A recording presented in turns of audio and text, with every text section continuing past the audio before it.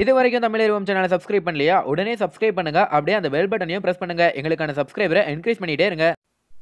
Hello viewers இன்னைக்கு என்ன பார்க்க போகிறோம் அப்படின்னு பார்த்தீங்கன்னா எட்டு எட்டு இரண்டாயிரத்தி இருபத்தி ஒன்று பிளவ வருடம் ஆடி இருபத்தி மூன்றாம் தேதி ஞாயிற்றுக்கிழமை ஆடி அமாவாசை வருகிறது. இந்த நாளில் நாம் முன்னோர்களின் ஆசையை பெற என்ன செய்ய வேண்டும் என்பதை பற்றி தாங்க இந்த உடல் பார்க்க போகிறோம் அதுக்கு முன்னாடி இதுவரைக்கும் எங்கள் சேனலை சப்ஸ்கிரைப் பண்ணாதவங்க சப்ஸ்கிரைப் பண்ணிடுங்க.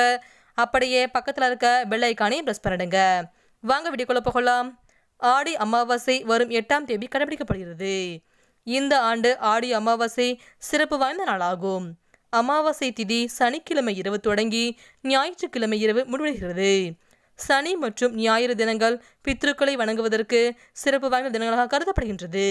எனவே இந்த சனி மற்றும் ஞாயிறு தினங்களில் பூசம் ஆயிரம் நட்சத்திரங்களில் வரும் அமாவாசை பித்ருக்களின் ஆஸ்தியை நாம் முழுமையாக பெறுவதற்கு மிகவும் சிறப்பான தினமாகும்.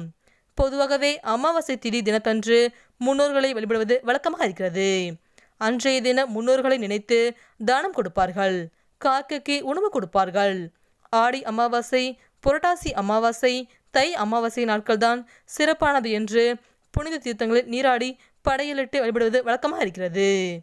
மேலும் இந்த ஆண்டு வரும் எட்டாம் தேதி ஆடி அமாவாசை கடைபிடிக்கப்படுகிறது.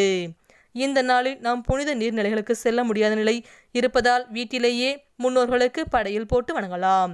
அவர்களின் ஆசையை முழுமையாக கிடைக்கும். மேலும் நம் பித்ருக்கள் சக்தி நிறைந்தவர்கள். அவர்கள் ஆசீர்வாதத்தால் புண்ணியமும் செல்வமும் கிடைக்கும். அமாவாசை அன்று ஒவ்வொரு வீட்டு வாசலிலும் அந்தந்த வீட்டு பித்ருக்கள் வந்து நின்று கொண்டு காத்திருப்பார்கள். அவர்களுக்கு இயல் கலந்த தண்ணீரை தர வேண்டும். இதனால் அவர்கள் மனம் மகிழ்ந்து ஆசீர்வதிப்பர். தர்ப்பணம் செய்யாவிட்டால் பித்ருக்கள் வருத்தப்பட்டு அது பித்ரு தோஷமாக மாறி சந்ததியின் ஜாதகத்தில் அமைகிறது. ஆகவே தவறாது அமாவாசை தர்ப்பணம் செய்ய வேண்டும். புனிதமான தர்ப்பணங்கள் செய்யாமல் இருந்தால் குழந்தையின்மை கரு களைவு குடும்ப தகராறு ஆரோக்கிய குறைபாடு அகால மரணம் திருமண தடை தீய பழக்கங்கள் ஊனமுற்ற குழந்தை பிறப்பு மூளை வளர்ச்சி குறைவுள்ள குழந்தை பிறப்பு போன்ற விரும்பத்தகாத சம்பவங்கள் குடும்பத்தில் நடைபெற்று நம் நிம்மதியை குலைத்துவிடும் என்கிறது சாஸ்திரம். மேலும் இவை பித்ரு தோஷம் மாத்ரு தோஷம் நாதி தோஷம் பந்து தோஷம் புத்திர தோஷங்களாக திகழ்கின்றன. இவை முறையற்ற வாழ்க்கை தேவையற்ற கோபம் மன உளைச்சல் மன அழுத்தம் தற்கொலை சிந்தனை உடல் வலி போன்றவற்றை உருவாக்கி நிம்மதியற்ற வாழ்க்கையை தந்துவிடும். பொதுவாகவே அமாவாசை நாளில் இறந்த முன்னோர்களுக்கு கொடுக்கும் தர்ப்பணமும் அவர்களை நினைத்து செய்யும் நல்ல காரியங்களாலும் பலன்கள் அதிகரிக்கும். முன்னோர்களின் ஆசியால் இதுநாள் வரை தடைபட்டு வந்த காரியங்கள் மளமளவென நடைபெறும். நாம் கொடுக்கும் தர்ப்பணத்தில் மகிழ்ச்சி அடையும் முன்னோர்கள் நம்மை ஆசிர்வதிப்பார்கள். இதனால் தரித்திரம் விலகும் ஐஸ்வர்யம் பெருகும். மேலும் சனிக்கிழமை தினத்திலும் ஞாயிற்றுக்கிழமை தினத்திலும் அமாவாசை வருவது விசேஷமானது. அன்றைய தினம் சனி பகவானை வழிபடலாம். தந்தை காரகர் சூரியனை வழிபடலாம். ஆடி அமாவாசை நாளில் முன்னோர்களை வழிபட்டு அவர்களுக்கு பிடித்தமான உணவுகளை படையிலிட்டு ஏழை எளியோருக்கு தானம் கொடுக்கலாம். ஏழைகளுக்கு அன்னதானம் கொடுப்பதால் முன்னோர்களின் ஆசை கிடைக்கும். மேலும் வருகின்ற எட்டாம் தேதி மறக்காமல் முன்னோர்களுக்கு தர்ப்பணம் கொடுத்து வழிபட்டார் நம்முடைய முன்னோர்களின் ஆசி முழுமையாக கிடைக்கும். மேலும் ஆடி ஒன்றாம் தேதி முதல் சூரிய பகவான் கடகராசியிலிருந்து தெற்கு நோக்கி பயணம் செய்யக்கூடிய ஆடி ஒன்று முதல் மார்கழி முப்பது வரையிலான காலம் தட்சிணாயன புண்ணிய காலம் எனப்படும். பித்ரு காரகனான சூரியன் தன் புதல்வனான யமனின் தெற்கு திசை நோக்கி பயணம் செய்யும் காலம் என்பதால் இதனை பித்ரு பக்ஷம் என்று கூறுவார்கள். எனவே இந்த ஆறு மாதத்தில் பித்ருக்களின் வழிபாட்டிற்கு முக்கியத்துவம் கொடுக்கப்பட்டிருக்கிறது. நமக்கு ஒரு வருடம் என்பது தேவர்களின் ஒரு நாள். அதில் உத்தராயணம் என்பது பகல் பொழுது தக்ஷிணாயனம் என்பது இரவு பொழுது. அதில் ஆடி மாதம் என்பது தேவர்களின் மாலை பொழுதான கோதுளி லக்னமாகும். எனவே இந்த தட்சிணாயன புண்ணிய காலத்தில் வரும் ஆடி அமாவாசை மகாலய பக்ஷம் போன்றவை பித்ருக்களின் ஆசையை பெற ஏற்ற தருணங்களாகும். மேலும் நமது மூதாதையர்களான பித்ருக்கள் அவர்கள் நினைக்கிற போதெல்லாம் பூலோகத்திற்கு வர இயலாது. பித்ருக்கள் பக்ஷமான தட்சிணாயனத்தின் முதல் மாதமான ஆடி மாதத்தில் பித்ருக்கள் தங்களின் சந்ததிகளை ஆசிர்வதிக்க பூலோகத்திற்கு வருவதாகவும் பின் உத்தராயண புண்ணிய காலத்தில் தை அமாவாசையில் பித்ருலோகம் செல்வதாகவும் புராணங்கள் கூறுகின்றன. எனவே அமாவாசை மாத பிறப்பு இறந்த அவர்கள் திதி மற்றும் மகாலய பக்ஷ தினங்களில்தான் அவர்கள் பூலோகத்திற்கு வர அனுமதிக்கப்படுகிறார்கள். பித்ரு தேவர்களை சிரத்தையோடு வழிபாடு செய்து சிரார்த்தம் செய்வதால் பித்ரு தோஷங்களிலிருந்து நிவர்த்தி பெறலாம் என்பதும் பித்ரு கடன் செய்வதனால் அவர்களின் ஆசீர்வாதம் கிடைக்கப் பெறும் என்பதும் பித்ரு கடன் செய்யாது இருந்தால் பித்ரு தேவதைகள் சபித்து விடுவார்கள் என்பதும் காலம் காலமாக இந்துக்களின் நம்பிக்கை இருக்கிறது மேலும் இரு வேறு சக்திகளான சூரியன் சந்திரன் ஒன்றாக இணையக்கூடிய நாளே அமாவாசையாக கொல்லப்படுகிறது எல்லா திதியிலும் ஏதாவது ஒரு கிரகம் திதி தோஷம் அடையும். ஆனால் அமாவாசை தினத்தன்று எந்த கிரகமும் திதி சூன்ய தோஷம் பெறுவதில்லை. இதன் காரணமாக அமாவாசை திதியில் சில விஷயங்கள் மேற்கொள்ளப்பட்டால் குறிப்பிடத்தக்க வெற்றியை அடைய முடியும். மருந்து உண்ணுதல் நோயாளிகள் குளித்தல் உள்ளிட்ட பல விஷயங்களை அமாவாசை திதியன்று துவங்கலாம் என சித்த நூல்கள் கூறுகின்றன. எந்த ஒரு பரிகாரமாக இருந்தாலும் அமாவாசை என்று செய்தால் அதற்கு சிறப்பான பலன்கள் கிடைக்கும்.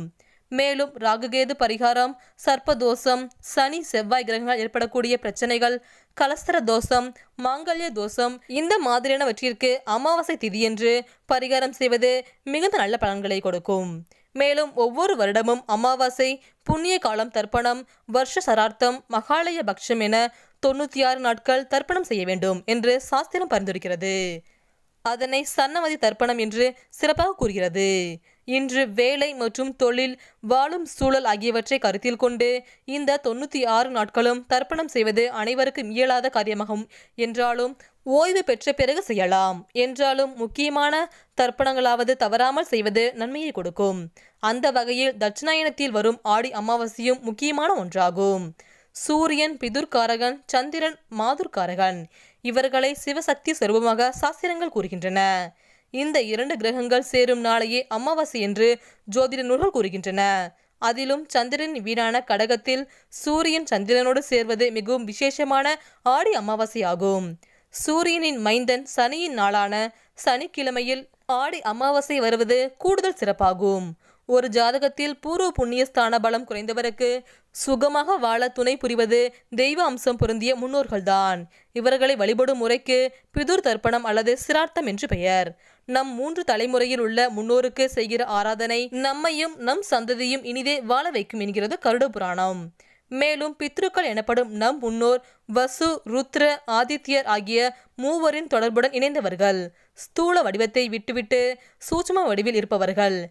தேஜஸ் வாயு போன்ற லேசான பஞ்சபூதங்களை தழுவி பரவியிருப்பவர்கள். திவ்ய பித்ருக்களைப் போல் தெய்வாம்சம் பொருந்தியவர்கள். தர்ப்பணம் வாயிலாகவும் பிண்டம் வாயிலாகவும் வழிபட வேண்டியவர்கள். மேலும் நமது முன்னோர்களில் ஒருவர் இறந்த திதி பட்சம் தமிழ் மாதம் அறிந்து ஒவ்வொரு தமிழ் வருடமும் அதே திதியன்று குடும்பத்தார்கள் பிண்டம் செய்து வைத்து படைப்பதே சிரார்த்தமாகும். இதனால் குடும்பத்தில் சகல தோஷங்களும் நிவர்த்தியாகின்றன. இந்த தர்ப்பணத்தை இதே போல அமாவாசை திதிகளிலும் செய்து வந்தால் மிக பெரும் நன்மைகள் உண்டாகும். மேலும் சூரியனை ஆத்மகாரகன் எனவும் குருவை ஜீவகாரகன் எனவும் ஜோதிடம் போற்றுகிறது. ஆனால் இந்த உடலுக்கு அதாவது எலும்போடு சேர்ந்த கட்டுமானம் சனீஸ்வரன் எனும் சனி பகவானையே காரணமாக கூறுகிறது. எனவே சனீஸ்வர பகவானின் தானியமான எல்லை பித்ரு சரார்த்த கர்மங்களுக்கும் வாகனமான காகத்தை பித்ரு ரூபமாகவும் பார்க்கிறது நமது வேதங்கள்.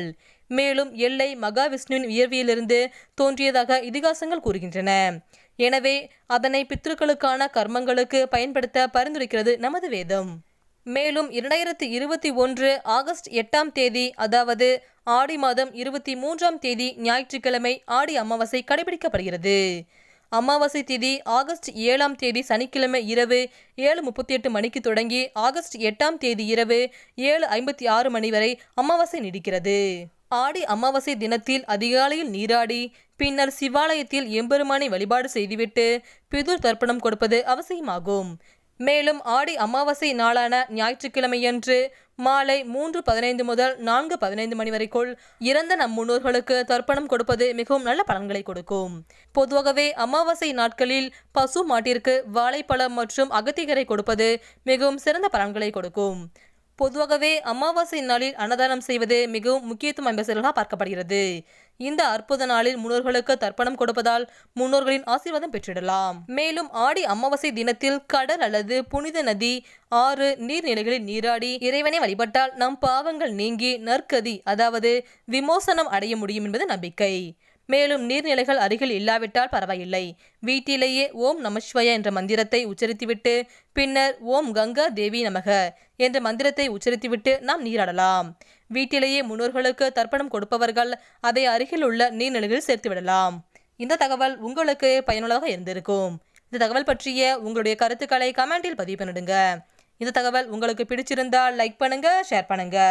மற்றும் இது போன்ற பல சுவாரஸ்யமான தகவல்களை தெரிந்து கொள்ள சேனலை சப்ஸ்கிரைப் பண்ணுங்கள் தேங்க்யூ